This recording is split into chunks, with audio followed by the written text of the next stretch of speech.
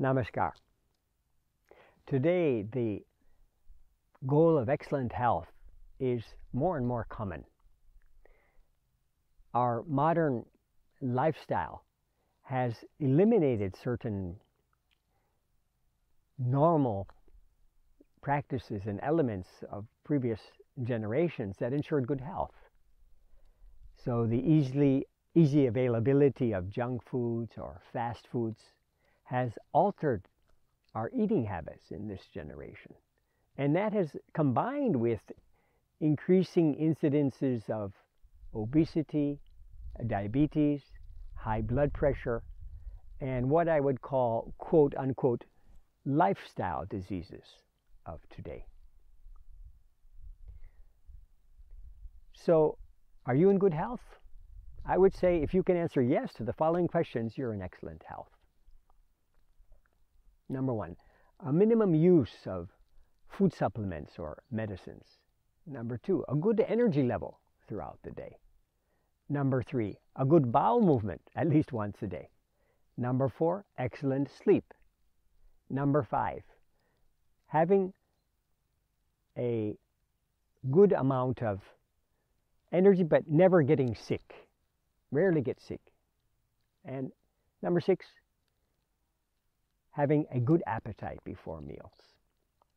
So there are many ways, many habits we could adopt to ensure excellent health.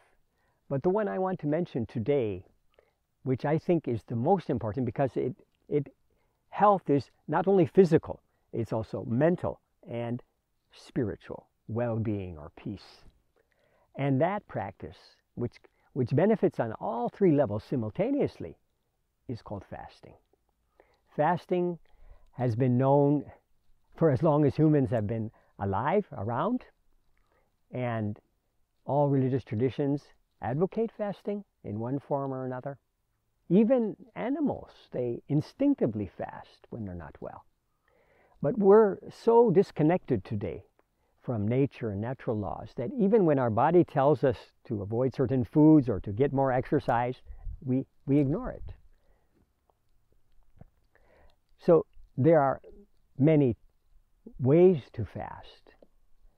For some people, the very word fasting makes them scared. They think fasting is like starving the body. Yet, I know people who look forward to fasting day because they have so much energy, more energy than the normal days on the fasting day.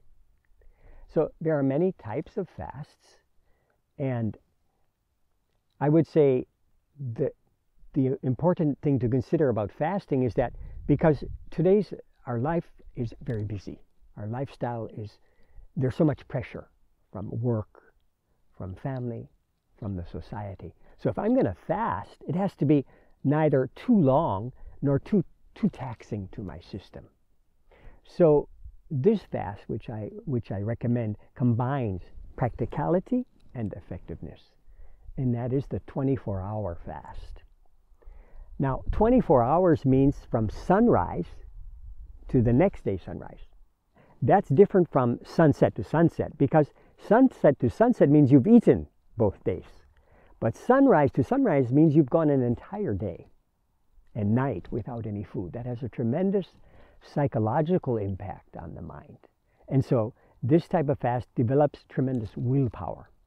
And we lose that strong attachment to food, which in some cases is, the very reason for which we are sick in the first place. And many weaknesses or uncontrolled habits of our mind, addictions, they clear through the 24 hour fast. So there are different ways to do that 24 hour fast. And for example, you might take uh, liquids for that 24 hour period, or you may drink freshly squeezed juice from fruits and vegetables. You may take water for the 24 hours. And lastly, no solid, no liquid for the entire 24 hour period. That means dry fast. Now, for some people, that seems impossible. But don't worry about that. With the regular practice of the diet, vegetarian diet, the yoga exercises, the meditation, slowly and gradually our bodies become able and our minds become willing to do the 24 hour fast, dry fast. And personally, I can think of no better habit than the 24 hour dry fast for all around health. So many solutions to problems come spontaneously after the 24 hour fast. I get many creative ideas how to do my work in a better way. My meditation is more deep, more concentrated. I feel more connected to that universal consciousness, which is part of all of us. So that's why the yogis called the, that, that fast upavasa. And that means to remain near to the Supreme. So, if possible, on the Upavasa fasting day, we use that, that saved time from eating for more meditation. Or we use the saved water to water the plants and the saved food to feed the animals. Actually, I've been fasting for five and a half years, dry fasting. Not in one stretch, obviously, but a system of fasting at intervals. Myself and my colleagues, we fast four times a month according to the lunar cycle, and family people twice a month. So if you're fasting at intervals over spaced time, it doesn't overtax the body, and it's only one day. It's important that dry fast, we break the fast properly. So the best way to do to break a dry fast is by consuming a minimum of one liter of water and taking half a lemon, squeeze the juice from the lemon, and mix it with a, a fair amount of salt. It should be fairly salty. So the, the lemon and the salt together produces a purging effect in the colon. And so whatever toxins are still within the system didn't come out during the dry fast, they come out when we evacuate, we go to the toilet after the dry fast. And then a normal breakfast. Normal means light foods, maybe some fruits or probiotic food like yogurt. In some cultures, uh, easily digestible porridge.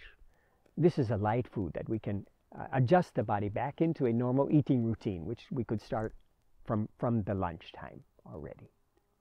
In 2016, a Japanese scientist, his name is Yoshinori Ohsumi, he won the Nobel Prize for medicine because he discovered the mechanisms behind autophagy. Simply explained, autophagy is the body's process. It uses the old and unha uh, uh, unhealthy cells as fuel during fasting day. So it means there's a, a type of cellular cleansing.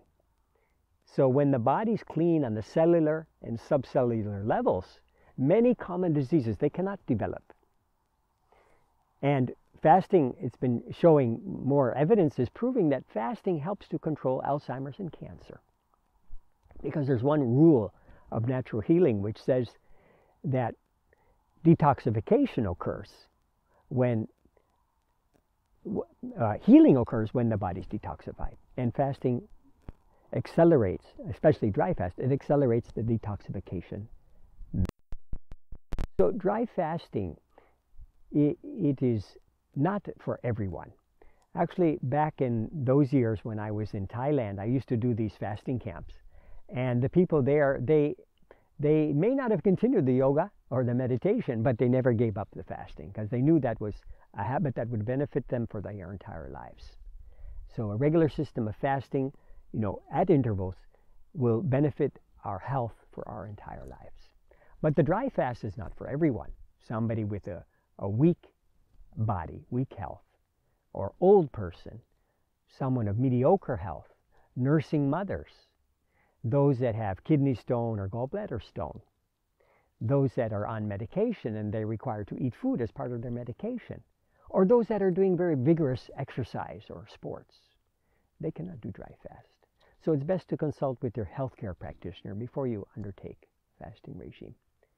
But yes, get into fasting and go into the level, enter at whatever level you feel comfortable with. And even if you're taking raw food that day, 24 hours, you know, you'll feel different if you're if you if you are a consumer of meat, non-vegetarian food, or or junk food. you'll feel different. And from there, slowly and gradually work up the continuum ladder towards a state of permanent, excellent health. I'm sure you'll find this habit of fasting probably the best habit you've ever adopted in your entire life. Thank you. Namaskar.